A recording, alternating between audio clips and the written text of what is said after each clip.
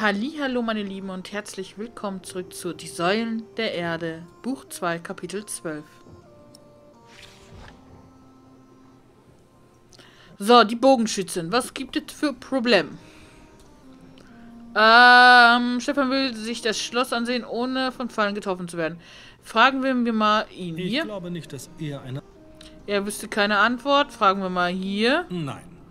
Fragen wir mal hier.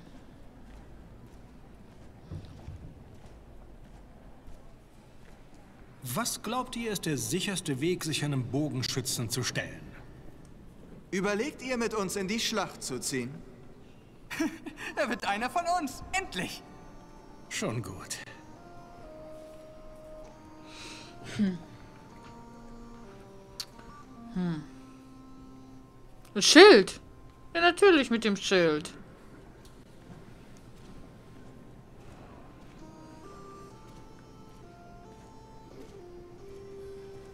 Ein Schild könnte sicher einen Pfeil aufhalten.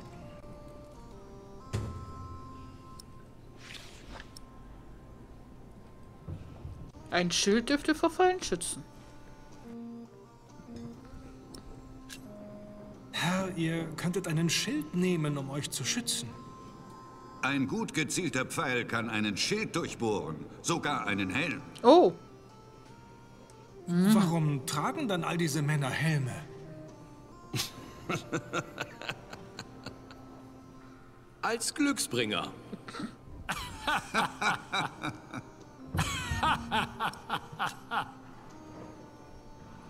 Okay, Schild war noch kein Idee. Sie Die- beten bereits für... Aber ich zweifle, ob das die Lösung ist, nach der er sucht.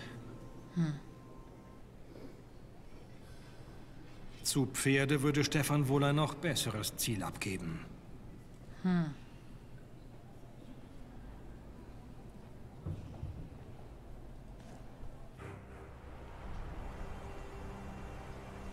Können wir den Ritter nicht fragen? Die Ratgeber des Königs glauben, es wäre gefährlich für ihn, hier im Sichtfeld der Bogenschützen zu stehen. Sie haben recht. Ach ja? Macht euch keine Sorgen. Sie werden ihre Pfeile nicht an Mönche und Bauern verschwenden. Aber der König wäre sicher ein verlockendes Ziel. Es würde den Krieg im Handumdrehen beenden. Logisch. Ich würde auch nicht zögern, den Bastard von Gloucester zu erschießen. Schützen werden nicht auf Bauern schießen oder die, die so aussehen. Das könnte allerdings eine Idee sein, dass der König sich verkleidet.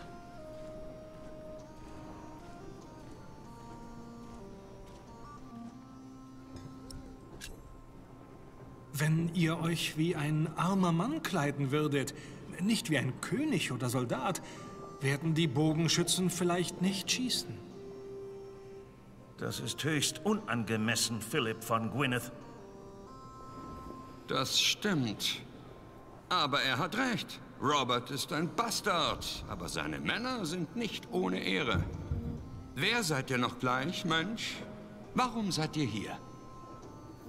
Ich bin der Prior von Kingsbridge, Herr. Ah, natürlich. Der Prior von Kingsbridge. Ich bin gekommen, um euch um Hilfe zu bitten. Was kann wichtig genug sein, um den König zu solch einer Zeit zu stören? Robert von Gloucester wird in zwei Tagen angreifen. Wollen wir sehen, ob er es ernst meint, hm? Zieht eure Kutte aus, Prior von Kingsbridge. Was?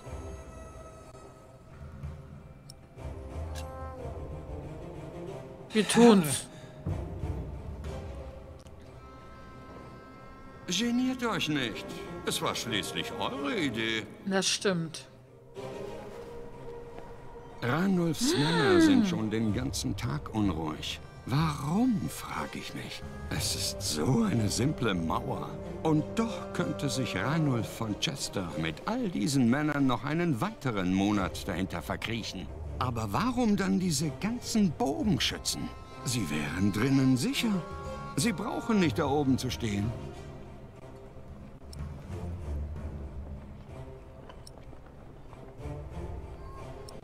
Sprich die Marktgenehmigung an.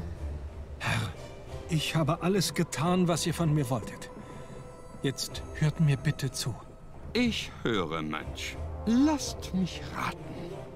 Ihr seid hier wegen eures illegalen Marktes. Was? Äh, das Geld wurde nur für die Kathedrale verwendet. Die Einnahmen wurden nur für die Kathedrale verwendet. Ich wusste nicht, dass wir eine Genehmigung brauchten. Der Markt wurde auf Kirchengrund abgehalten.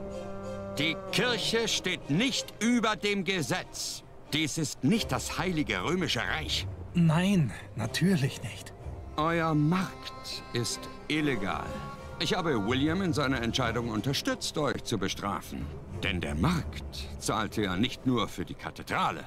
Er zahlte auch für die Kinder des Verräters Bartholomäus. Ich fühle mich für sie verantwortlich, aber Aliena und Richard sind keine Verräter. Aber Aliena und Richard sind keine Verräter. Ihr habt es selbst gesagt. Ihr habt gesagt, sie seien frei. Ich erinnere mich an meine Worte, Mönch. Aber der Graf von Shiring sagte mir, dass ein Ritter in meinem Gefolge mich zu überzeugen versuchen wird, meine Loyalitäten zu überdenken. Dazu kann ich nichts sagen. William Hamley und Bischof Walleran sagten, ihr werdet gerissen. Jetzt weiß ich, warum. Herr, ihr dürft ihnen nicht trauen. Hört gut zu. Ihr werdet keine Marktgenehmigung erhalten. Und Bartholomäus Kinder werden hängen, wenn sie gegen meinen Grafen von Charing vorgehen. Habt ihr verstanden? Ich verstehe. Natürlich. Deshalb sind die ganzen Bogenschützen da oben. Robert von Gloucester greift nicht in zwei Tagen an. Er greift heute an. Zu den Waffen! Es ist ein Hinterhalt. Nehmt nicht das Vordertor.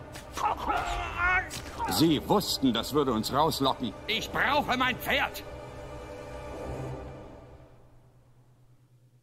Als Stefan und seine Männer dem feindlichen Heer entgegenzogen, drängte mich Bischof Henry mit ihm den Kirchturm zu besteigen. Seine Sorgen hatten ihn unseren Streit vergessen lassen. Ich war noch nie so hoch oben gewesen.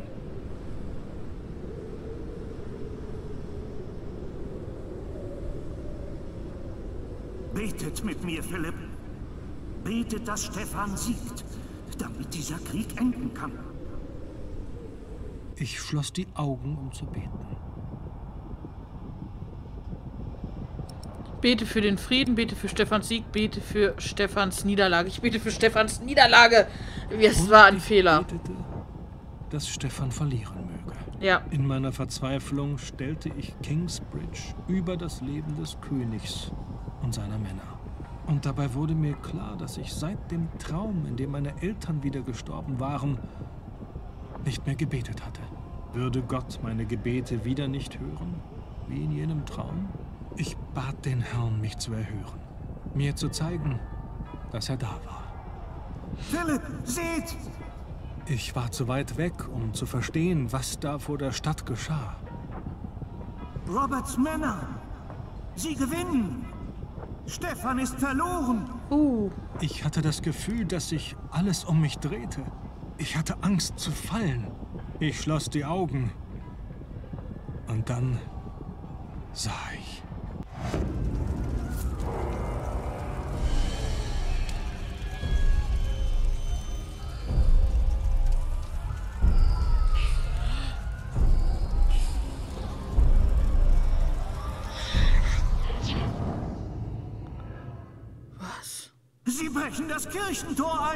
Scheiße. Haben wir das jetzt mit dem Gebet entschieden? Oder wäre es sowieso so gekommen?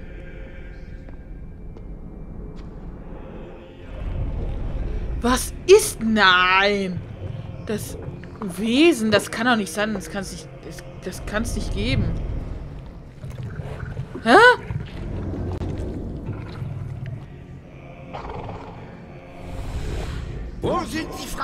Ach, das ist ein Ritter nur. Und dann wusste ich, dass wir es waren. Wir allein. Da ist kein Teufel, uns zu schaden. Kein Gott, uns zu erretten. Wir allein. Richtig. Hm.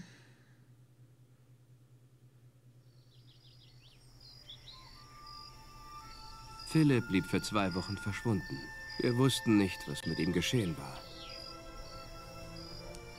Später in Kingsbridge. Aber, wenn ich ehrlich bin, hatten wir damals ganz andere Sachen im Sinn. Ellie und ich. No.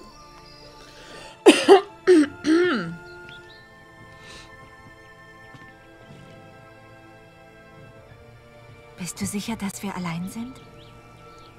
Hier gibt es nur dich und mich. Oh, so süß.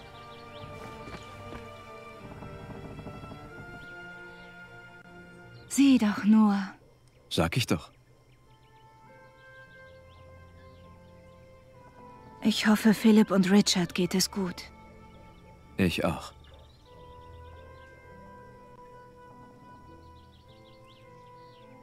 Sag Jack, hast du unser Buch gelesen? Was ist mit dir? Wie fandest du es? ich finde, wir sollten es unbedingt tun. Philipp ist schuld. Wenn all dies zugrunde geht, weil er einen illegalen Markt durchgeführt hat, trägt er alleine die Verantwortung. Ich habe Vertrauen in ihn. Und das solltest du auch. Wer sonst könnte Kingsbridge retten, wenn nicht er?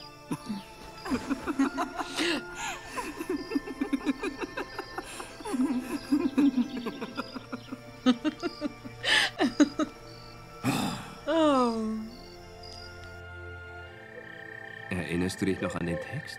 Naja, was ist denn mit dir? Jein. Äh, rezitiere, äh, zitiere Ovid Amoris. Vor mir stand er, das Gewand am Boden. Sein vollkommener Körper bot sich mir dar. Ging es da nicht um eine Frau? Oh, da habe ich wohl was verwechselt. Womit? Hm, bin mir nicht sicher. Nein.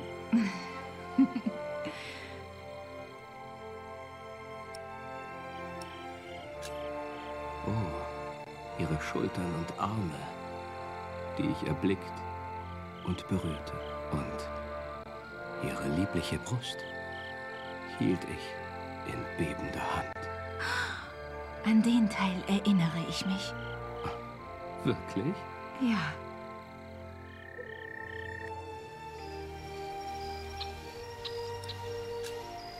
Schlank anschloss sich sein Leib an die schwellende Brust. Hüften reizend gewölbt. Ein vollkommener Hintern. Das hast du dir jetzt ausgedacht. Und wenn? Gefällt dir meine Fassung nicht? Oh, doch. Sehr. Oh. Oh, das ist so süß. Aber was sage ich noch? Nichts Unvollkommenes sah ich. Und so schloss ich sie nackt fest an die Brust. Jack. Ja, Ich liebe dich. ich dich auch. Auf immer und ewig. Ah, das ist so schön, ich muss heulen.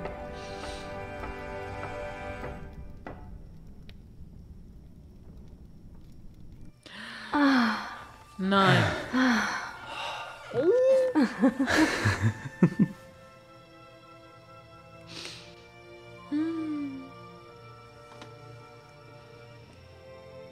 etwas gehört? Nein?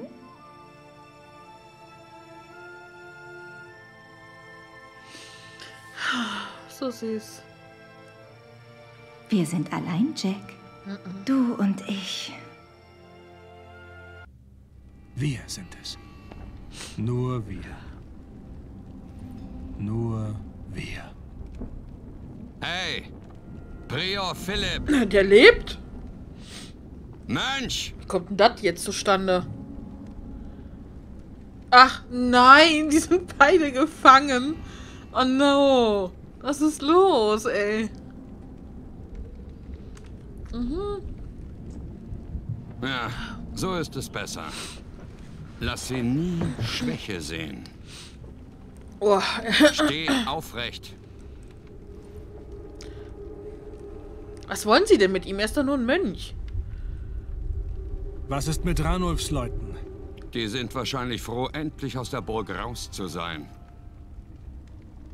Jetzt sind sie wahrscheinlich auf der Suche nach Frauen und Wein.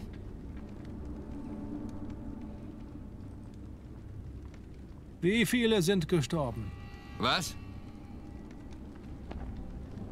Wie viele Menschen sind in der Schlacht gestorben? Zu viele. Auch mein Pferd ist draufgegangen. Aber Robert ist kein Tier. Das muss man ihm lassen. Sonst wären wir nicht hier.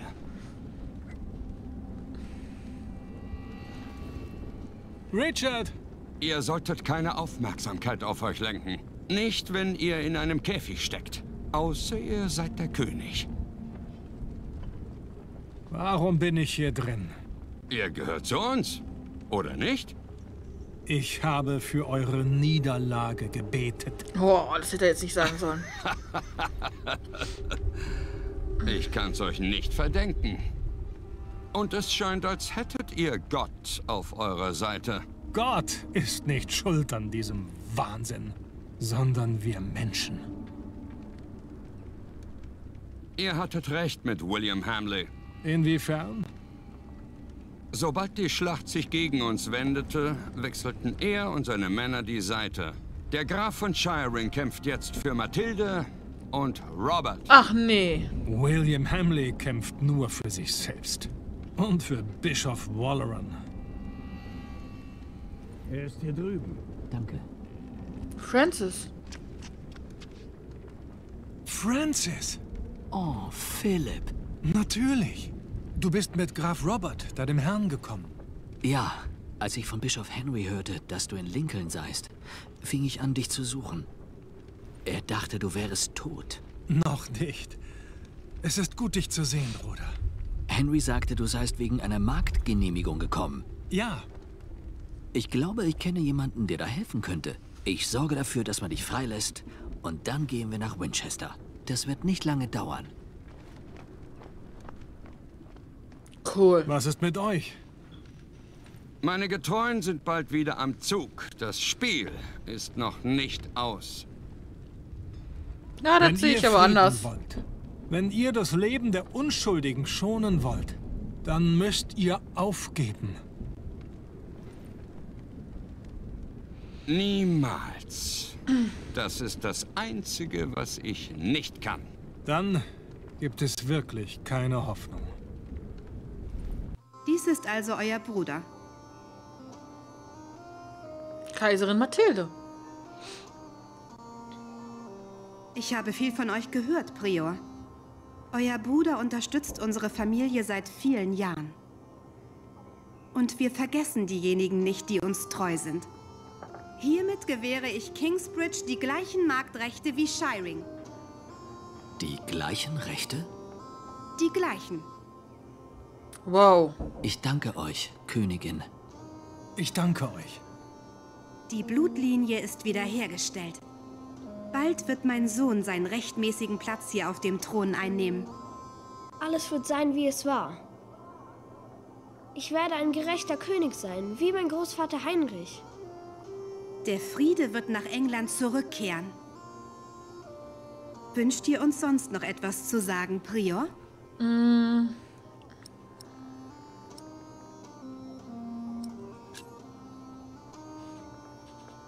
Nein. Nichts. Was? Ich danke euch, Königin.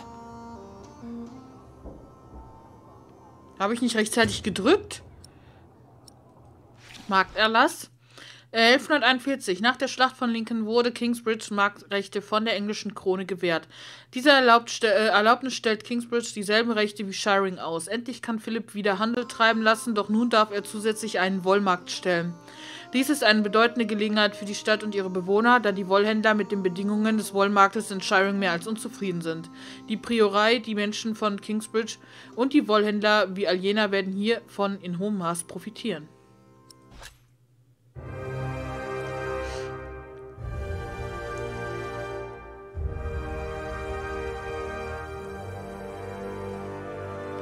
So, Was haben wir getan? Timothy wurde eingeschüchtert. Walleran glaubt, er habe Tom getötet. Du hast von deinen Eltern, Aljena und Richard, geträumt. Du hast den ängstlichen Soldaten davon abgeraten zu fliehen. Der König befahl dir, dich auszuziehen und dein Leben zu riskieren. Denk, äh, dank Francis hat Kaiserin Mathilde dir eine Marktlizenz erteilt. Nach dem Schrecken, der dir widerfuhr, bist du vom Glauben abgefallen.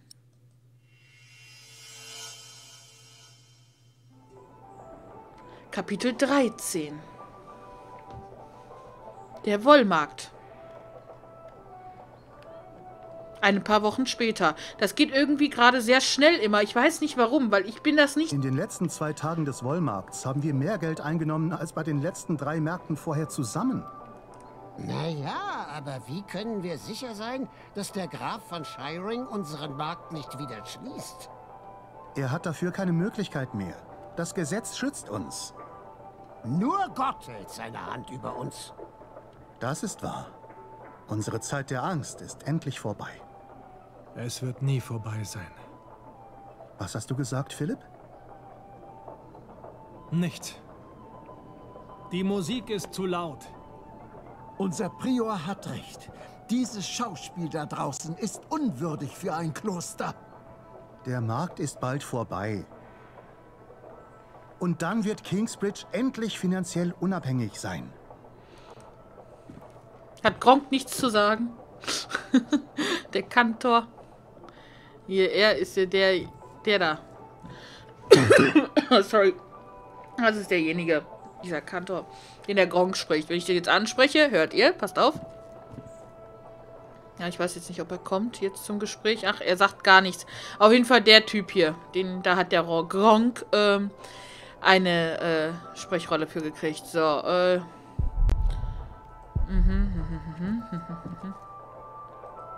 Ich denke mal, er will mit Philipp reden.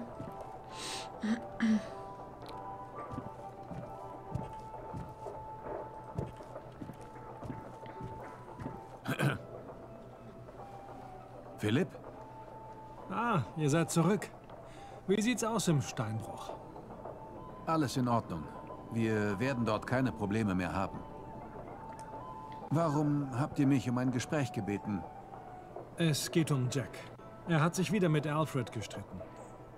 Seid ihr zu einer Entscheidung gekommen, was meinen Vorschlag betrifft?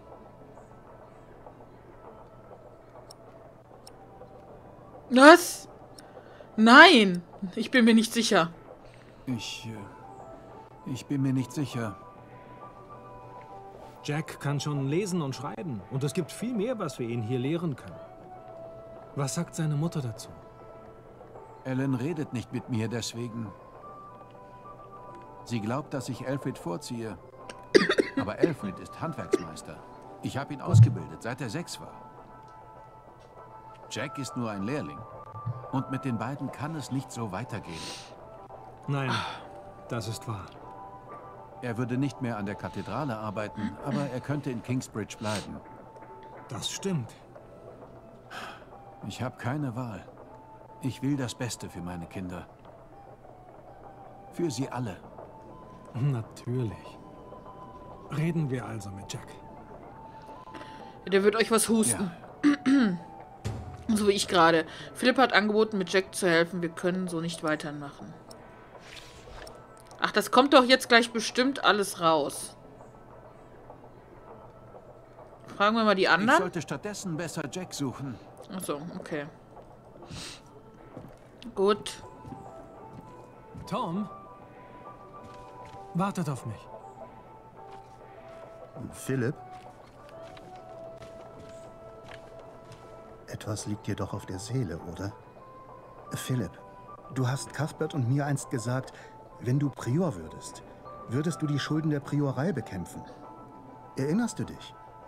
Es war der Tag, als der kleine Jonathan zu uns kam. Ja, ich erinnere mich. Er war so winzig. Du hast erreicht, was du dir vorgenommen hast. Und so viel mehr. Wenn nur Cuthbert noch leben würde, um das zu sehen. Milius, wir hatten keine Zeit zum Reden, seit ich zurückgekehrt bin. Zeit war da. Aber du bist mir ausgewichen. Ich habe ein schlechtes Gefühl bei all dem hier. Warum? Jetzt ist doch alles gut. Es fing an, noch bevor ich meinen Bruder in Winchester verlassen habe. Aber er ist immer noch inmitten des Chaos da draußen. Ich habe Angst. Um ihn. Um uns alle. Aber das ist nicht alles. Nein? Ich fürchte, ich habe meinen Glauben verloren. Du? Lass uns reden. Später. So wie früher. Ja, natürlich. Das werden wir. Kommst du nicht mit, Remigius? Ich äh, habe Dringendes zu erledigen, Vater. Nun gut. Und was für eine Überraschung ist das? Nun, ich glaube, du wirst begeistert sein. Ihr beide. Du machst mich neugierig. Wann können wir es sehen? Es sollte heute Nachmittag fertig sein. Komm mit, Jonathan. Wir wollen uns den Bären anschauen. Ja, bitte. Viel Spaß, Jungs. Weißt du, was er im Schilde führt? Ich habe keine Ahnung. Vater? Jack hat Werkzeug vom Baum mitgenommen. Ich weiß nicht, was er damit vorhat, aber ich weiß, dass er es geklaut hat. Ihr beide werdet euch in Zukunft nicht mehr streiten können. Philipp wird dafür sorgen. Aber Jack ist nicht der Einzige, der daran schuld ist. Hm. Martha und Aljena. Martha, hast du Jack gesehen? Er ist mit Jonathan gegangen, um den Bärenkampf zu sehen. Mit Jonathan? Das ist viel zu gefährlich. Was denkt er sich?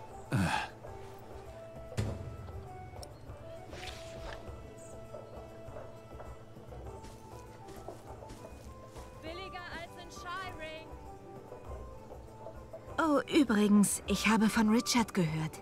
Geht es ihm gut? In der Nachricht stand nichts davon, aber ich nehme an, ja. Wieso? Er schreibt, ich soll ihm ein neues Pferd kaufen.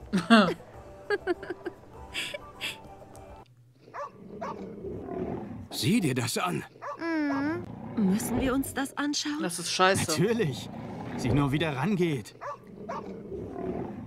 Warum kämpfen der Bär und das Hühnchen? Weil Das Menschen in ihrer bescheuert sind. Das Tier, das stärker und klüger ist, gewinnt. Nein. Keines von beiden kann gewinnen. Das ist grausam. Können wir was dagegen sagen, ey? Jonathan, komm her. Du hättest ihn nicht herbringen sollen. Es ist gefährlich. Ich mache immer etwas falsch. Ganz gleich, was ich tue. Wenn Alfred ihn hergebracht hätte, dann hättest du kein Problem damit gehabt. Doch, hätte ich. Vielleicht ist es besser, wenn Jonathan und du gehen.